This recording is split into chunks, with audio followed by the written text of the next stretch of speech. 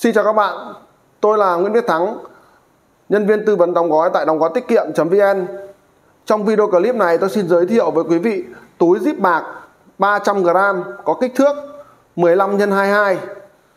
Túi có bề rộng miệng túi là 15 cm, chiều dài túi là 22 cm, túi có đáy đứng, đây là cái đáy. Đây tôi review cho các bạn xem. Túi zip bạc đáy đứng nó sẽ như thế nào. Đây, cái đáy nó sẽ như thế này khi mà chúng ta đựng sản phẩm vào thì cái đáy nó sẽ dựng lên và chúng ta có thể để để dựng sản phẩm được. Và đặc điểm của của chiếc túi một mặt bạc này là nó có sự khác biệt là một mặt được à, phủ là lớp ni lông trong suốt có thể nhìn thấy sản phẩm ở bên trong.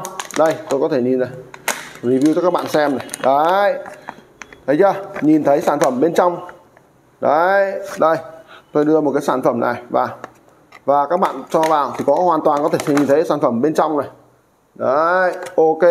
Và một mặt à, đằng sau là mặt trắng bạc. Đấy các bạn sẽ không thể nhìn thấy bên sau xuyên từ bên nọ sang bên kia được. Đấy sản phẩm này rất phù hợp để đóng gói những cái sản phẩm à, cần phải nhìn thấy khi khách hàng quyết định mua.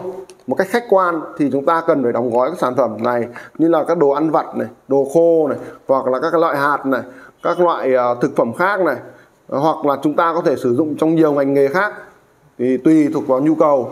Thì để mà sử dụng được an toàn thì chúng tôi sẽ có những cái video clip hướng dẫn các bạn cách sử dụng à, những cái video sau. Thế trong video này tôi xin giới thiệu với các bạn là túi này có thể đóng gói được từ 250g đến 300g sản phẩm. Có kích thước là 15 x với 22 cm và anh chị em có nhu cầu à, sử dụng đặt mua thì có thể liên hệ với tổng kho túi zip tại Hà Nội đóng gói tiết kiệm.vn tổng đài 0839 575757 đóng gói tiết kiệm.vn tổng kho túi zip tại Hà Nội sẵn hàng và có thể giao ngay. Anh chị em hãy liên hệ qua tổng đài để nhận báo giá ngày hôm nay. Sản phẩm sẵn hàng có thể giao ngay, giá luôn luôn tốt nhất thị trường.